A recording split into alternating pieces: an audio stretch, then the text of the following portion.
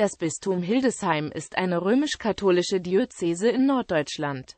Sie gehörte von ihrer Gründung im Jahr 815 bis 1805 zur Kirchenprovinz Mainz und war danach exemt. 1824 wurde das Bistum erheblich erweitert und kam 1930 zur damals geschaffenen mitteldeutschen Kirchenprovinz. Seit 1995 ist das Bistum Hildesheim Teil der neu errichteten norddeutschen Kirchenprovinz Hamburg. Geografie Das Gebiet des Bistums entspricht dem östlich der Weser gelegenen Anteil Niedersachsens und Teilen des Landes Bremen, nämlich Bremen-Nord, also die Anteile der Stadt Bremen nördlich der Lesum und Bremerhaven. Es ist eines der flächengrößten Bistümer Deutschlands, umfasst jedoch fast ausschließlich Regionen, in denen die Katholiken eine Minderheit bilden und damit in der Diaspora leben. Nur das im Süden des Bistums gelegene Dekanat Untereisfeld sowie die Dörfer des alten Stifts im Raum Hildesheim haben eine katholische Bevölkerungsmehrheit. Geschichte Um 800 errichtete Karl der Große das Missionsbistum für Ostfalen in Elze, das damals Aula Caesaris, kurz Ollike genannt wurde und etwa 19 Kilometer westlich des heutigen Hildesheim liegt. Die Diözese stand unter dem Patrozinium der Apostelfürsten Petrus und Paulus, deren Namen die Elzer Kirche bis heute trägt. Das Bistum wurde dann 815 von Karls Sohn Ludwig dem Frommen in Hildesheim neu gegründet und der Gottesmutter Maria geweiht. Das Bistum Hildesheim umfasste zur Zeit seiner Gründung die 17 sächsischen Gaue Astfala, Flutwedde, Liergau, Saltgau, Wenzigau, Ambergau. Flennetigau, Aringostilletigau, Walingau, Gudingau, Skotterlingau, Muldes, Marstengau, Osterwalde, Helingau und Mutireit. Unter Bischof Altfried entstand 852 bis 872 der erste steinerne Dombau, dessen Grundriss bis heute unverändert blieb. Seine größte Bedeutung erlangte das Bistum Hildesheim zur Zeit der Sachsenkaiser durch die heiligen Bischöfe Bernward und Godehard. Architektur und Kunstschätze aus dieser Zeit prägen bis heute das Bild der Stadt. Von 1235 bis 1802 war der Bischof von Hildesheim zugleich Reichsfürst. Sein Territorium, das Fürstbistum Hildesheim, war kleiner als die Diözese. Ab 1500 gehörte es zum niedersächsischen Reichskreis. Als Folge der Hildesheimer Stiftsfehde wurde das Gebiet um die Hälfte verkleinert. Rat und Bürgerschaft der Stadt Hildesheim sowie die welfischen Territorien, die den größten Teil des Hildesheimer Diözesangebiets ausmachten, gingen im 16. Jahrhundert zum lutherischen Bekenntnis über.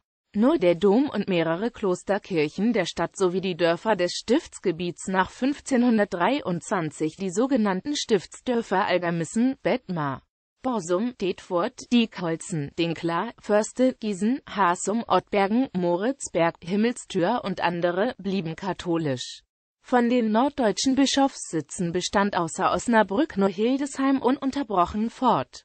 Die kirchlichen Diözesangrenzen von 815 wurden bis 1823 nicht verändert, auch als die Nachbarbistümer Minden Verden und Halberstadt untergegangen waren und ihre Diözesangebiete zu den nordischen Missionen, später dem Apostolischen Vikariat des Nordens gehörten. Im Zuge der territorialen Neuordnung des Reichs infolge des Dreißigjährigen Kriegs wurde das Fürstbistum Hildesheim mit dem Rezess von Goslar 1643 in den Grenzen vor 1523 wiederhergestellt die inzwischen lutherischen Gebiete, die nun wieder zur Herrschaft des Hildesheimer Stuhls gehörten, wurden jedoch nicht rekatholisiert. Lediglich einzelne Pfarreien, Klöster und Gottesdienststationen entstanden neu. Im 18. Jahrhundert hielt sich das kleine Fürstbistum Hildesheim durch Personalunionen mit mächtigeren geistlichen Staaten Nordwestdeutschlands. Fürstbischof Clemens August aus dem Hause Wittelsbach regierte fast vier Jahrzehnte lang zugleich Köln, Münster, Paderborn. Osnabrück und Hildesheim. Nach Hannovers Annexion einiger ehemaliger geistlicher Fürstentümer begann das Königreich Hannover 1816 Verhandlungen mit dem Heiligen Stuhl um ein Konkordat, die aber 1821 endgültig gescheitert waren. Daraufhin strebte Hannover, nach preußischem Beispiel, nur noch eine Zirkumskriptionsbulle an Gemäß Vertrag zwischen Hannover und Rom von 1824 erließ der Papst dann die entsprechende Bulle im Pensa Romanorum Pontificum. die die Grenzen der hannoverschen Bistümer Hildesheim und Osnabrück neu zog, so dass alles Staatsterritorium zu einer der beiden Diözesen gehörte. Allerdings blieb der Stuhl in Osnabrück zunächst unbesetzt und wurde von Hildesheim durch einen Generalvikar und Weihbischof mitbetreut. Da Rom und Hannover über die Finanzierung dieses Bistums uneins geblieben waren und die Klärung auf später verschoben hatten. Auch hatte Hannover durchgesetzt, dass beide Bistümer nicht Suffragan eines ausländischen Metropoliten wurden, sondern Hildesheim exempt blieb und Osnabrück es wurde. Hildesheims Diözesangebiet umfasst seitdem, mit wenigen Abweichungen, den östlich der Weser gelegenen Teil Hannovers bzw. des Landes Niedersachsen, damit auch das ehemals kurmainzische, katholisch gebliebene Untereisfeld der Stadt und die bis dahin zur nordischen Mission gehörenden ehemaligen Diözesangebiete Bremens ohne die nordelbischen Hamburg, Holstein und Dithmarschen, Minnens östlich der Weser und Verdens ohne die Altmark. Die Zahl der Diözesanen ist durch den Zuzug ostdeutscher Vertriebener nach dem Zweiten Weltkrieg stark angewachsen. Diese stammten insbesondere aus Schlesien und dem ostpreußischen Ermland, aber auch aus der Tschechoslowakei. Für sie wurden in allen Teilen der Diözese neue Pfarreien und Kirchen errichtet.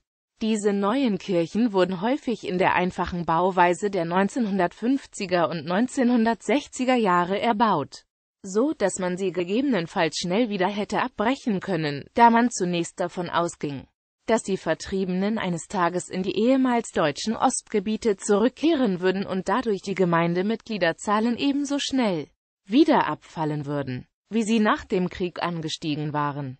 Im Zuge der Einsparungen nach dem Rückgang der Kirchensteuereinnahmen zum Jahrtausendwechsel ist auch die Schließung vieler Kirchen vorgesehen bistumsweit stellen ehemalige Heimatvertriebene und deren Nachkommen, Zugezogene aus West- und Süddeutschland, Spätaussiedler aus Polen und der ehemaligen Sowjetunion sowie Zuwanderer aus Italien, Spanien, Portugal und Kroatien große und den Alltag prägende Gruppen in den Gemeinden.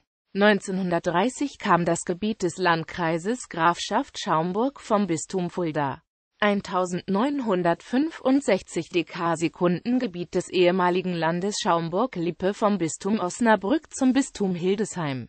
Sie bildeten zusammen das Dekanat Bückeburg, das am 1. September 2012 mit dem Dekanat Hameln-Holzminden zum neuen Dekanat Weserbergland zusammengeschlossen wurde. Während der Existenz der DDR gehörten sechs Kirchen auf dem Staatsgebiet der DDR zum Bistum Hildesheim waren jedoch apostolischen Administratoren in der DDR unterstellt.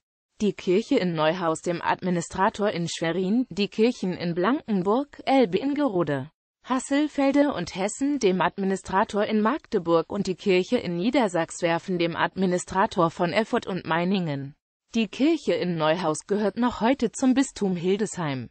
Die anderen Kirchen gehören heute zu den seit dem 8. Juli 1994 bestehenden Bistümern Magdeburg und Erfurt. Seit der Gründung des Erzbistums Hamburg am 7. Januar 1995 gehört das Bistum Hildesheim zur Hamburger Kirchenprovinz. Die südlich der Elbe auf Hamburger Staatsgebiet gelegenen Pfarreien wurden an die benachbarte Erzdiözese abgetreten. Gegenwart Seit dem 13. November 1983 war Josef Hohmeier Bischof von Hildesheim. Nachdem Papst Johannes Paul II. seinem Rücktrittsgesuch zum 75. Geburtstag stattgegeben hatte, übernahm im August 2004 der dienstälteste Weihbischof Hans-Georg Kreuz die Leitung der Diözese und wurde vom Domkapitel zum Diözesanadministrator gewählt. Am 29. November 2005 wurde der damalige Kölner Weihbischof Norbert Trelle zum 70. Bischof von Hildesheim ernannt. Die feierliche Amtseinführung war am 11. Februar 2006 im Dom zu Hildesheim. Weihbischof Kreuz wurde nach seinem 75. Geburtstag am 1. Mai 2010 emeritiert. Zu dessen Nachfolger ernannte Papst Benedikt XVI am 4. Dezember 2010 den damaligen Leiter der Hauptabteilung Personal, Seelsorge im Bistum Hildesheim, Heinz-Günther Bongatz. Die Bischofsweihe von Heinz-Günther Bongatz war am 26. Februar 2011 in der Hildesheimer Basilika St.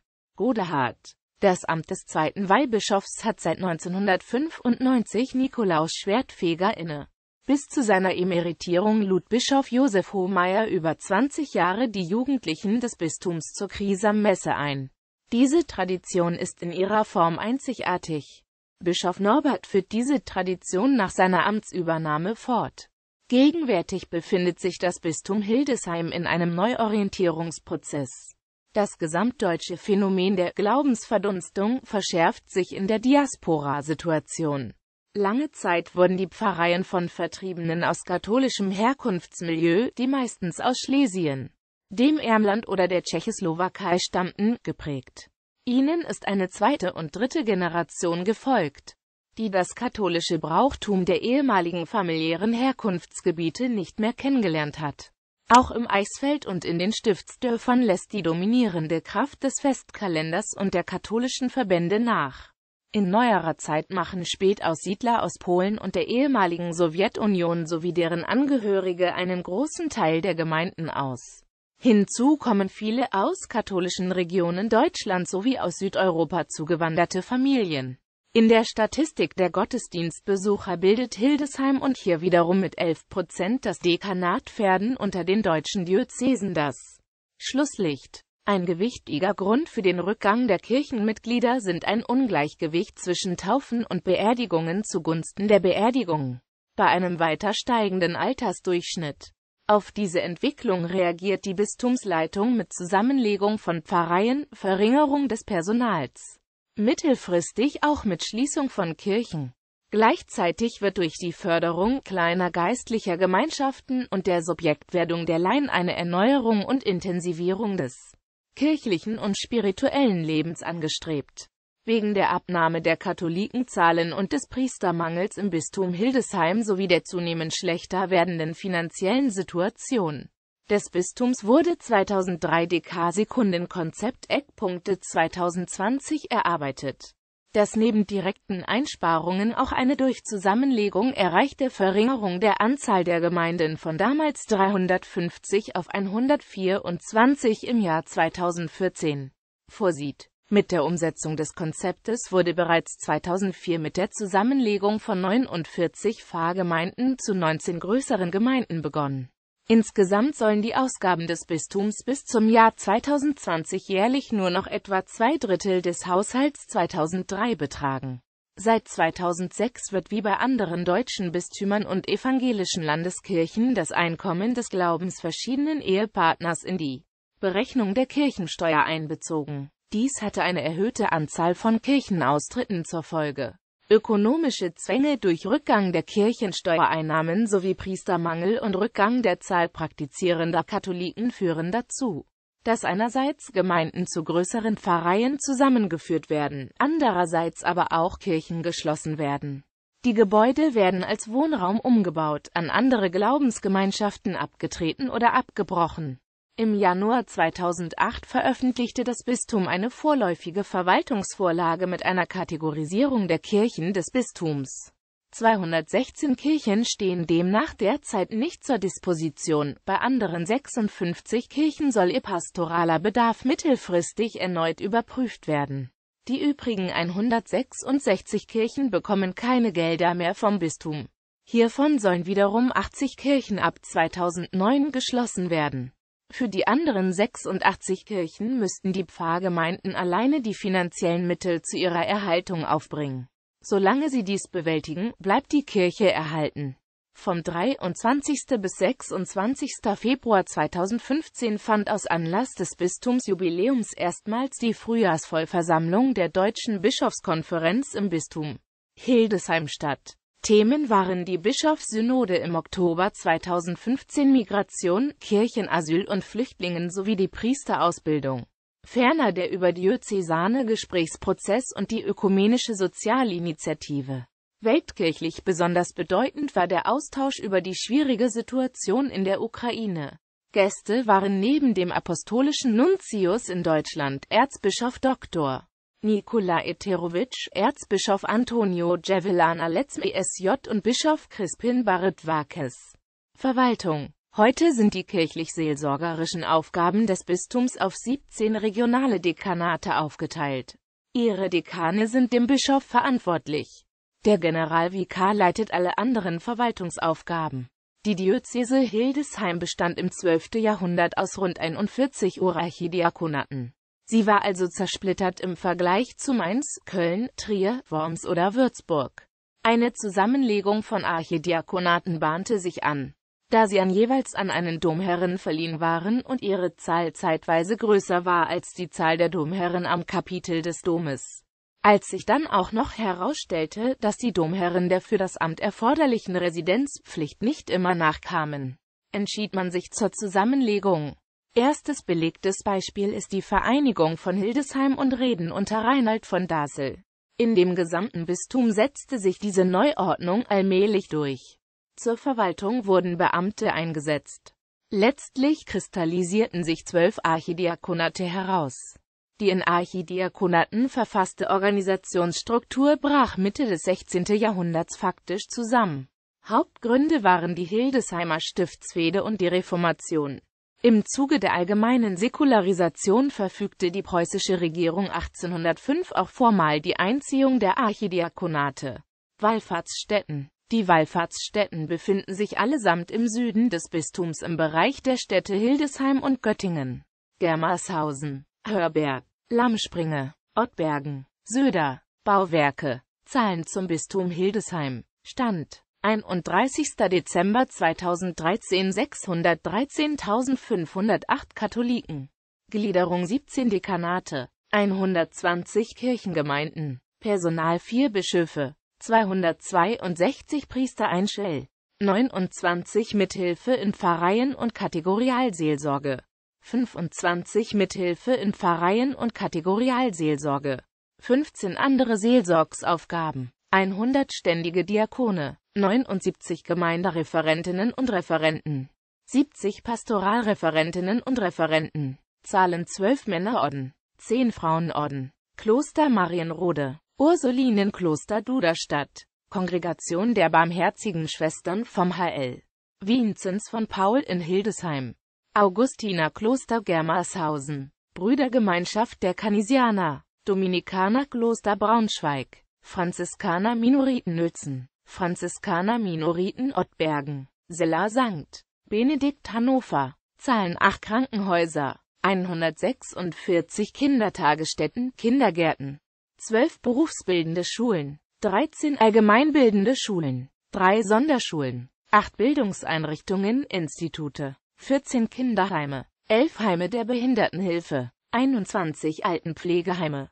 92 Beratungsdienste, 7 Heime der Jugendhilfe, 8 Kur- und Erholungshäuser, Dombibliothek Hildesheim, Dommuseum Hildesheim, Priesterseminar Hildesheim, Akademie St. Jakobus Haus Goslar, Forschungsinstitut für Philosophie Hannover, Katholisches Forum Niedersachsen Hannover, Katholische Familienbildungsstätte Hannover, Katholische Familienbildungsstätte Salzgitter, Hospizverein im Bistum Hildesheim, Caritas, Malteser Hilfsdienst, Krankenhäuser der Hildesheimer Vinzentinerinnen. Im Bistum Hildesheim befinden sich eine Reihe von allgemeinbildenden katholischen Schulen in freier Trägerschaft. Sie werden vom Bistum und von der Stiftung Katholische Schule betrieben. In Hildesheim sind dies das bischöfliche Gymnasium Josephinum, das Gymnasium Marienschule, die Haupt- und Realschule Albertus Magnus und die Oberschule St. Augustinus Schule. Dazu werden noch das Gymnasium St. Ursula Schule in Hannover, das Gymnasium Eichendorf Schule in Wolfsburg sowie Oberschulen in Göttingen, Wolfsburg und Hannover geführt. Die Ludwig-Windhorst-Schule in Hannover wurde 2014 in eine Oberschule mit gymnasialem Zweig umgewandelt. In Duderstadt gibt es eine integrierte Gesamtschule, in Bremerhaven gibt es aufbauend auf zwei Grundschulen eine Oberschule. Im Bistum gibt es außerdem 28 Grundschulen in kommunaler Trägerschaft, die für Schülerinnen und Schüler katholischen Bekenntnisses eingerichtet sind. Förderschulen und berufsbildende Schulen befinden sich in Trägerschaft des Caritasverbandes bzw. der Vincentinerinnen. Missbrauchsskandal Im Zusammenhang mit dem Missbrauchsskandal am Canisius-Kolleg unterstrich Berlin geriet die Bistumsverwaltung massiv in Kritik. Einer der im Zentrum der Vorwürfe stehenden Pfarrer wechselte von Berlin nach Hildesheim und blieb dort bis zu seiner Pensionierung. Nach Angaben in der Presse hat das Bistum an der Aufklärung erneuter Vorwürfe gegen den Pfarrer nicht beigetragen, sondern ihn versetzt.